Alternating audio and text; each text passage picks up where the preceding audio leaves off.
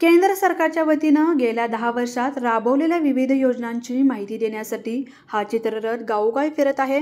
आज सकाळी अकरा वाजता शिरोली येथील ग्रामपंचायतीसमोर संयोजक पोस्टर व चित्ररथातील स्क्रीनिंगवरून विविध सरकारी योजनांची माहिती देत असताना संविधान संवादक राजवैभव शोभा रामचंद्र व अन्य ग्रामस्थांनी त्यावर आक्षेप घेतला. चित्ररथ सरकारी आहे तर त्यावर भारत सरकारऐवजी मोठ्या अक्षरात मोदी सरकारची हमी असा उल्लेख का आहे?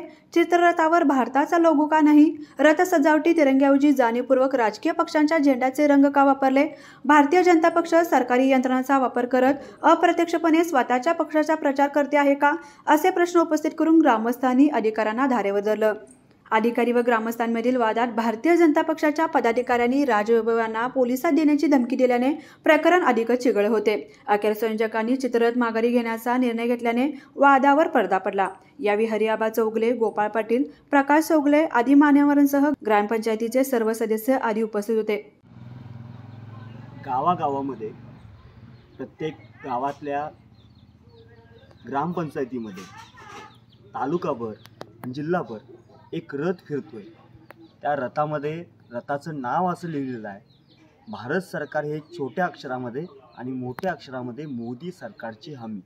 अशा स्वरूपातला एक रथ गावोगावामध्ये फिरू लागला आहे आणि तो वेगवेगळ्या योजना सांगायचं काम करतो त्याच्यामध्ये मोठी स्क्रीन लावलेली आहे. मोठा टेम्पो फिरतोय. आणि हाच रथ आमच्या गावातसुद्धा आला.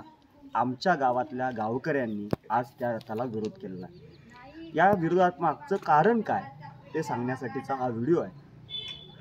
या देशात भारता भारत दॅट इज इंडिया असं भारतीय संविधानातलं कलम पहिलं आहे. म्हणजे आमच्या देशाला दोन नावं असतील. एक तर इंडिया असेल किंवा भारत असेल. आणि या देशातलं जे सरकार असेल ते सरकार गव्हर्नमेंट ऑफ इंडिया असं असेल किंवा भारत सरकार असं असेल.